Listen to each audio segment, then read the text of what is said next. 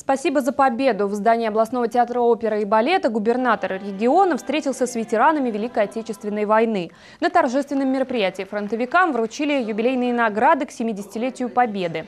По словам главы региона, такие встречи – это отличный повод пообщаться с фронтовиками, прошедшими всю войну. Такие встречи не только собирают вместе друзей однополчан, но и объединяют всех нас, тех, кто пережил войну, дошел до победы, тех, кто остался на полях сражений, и тех, кто сегодня живет и созидает благодаря поколению победителей. Мы гордимся, что сидим за одним столом с освободителями Ленинграда и участниками обороны Москвы.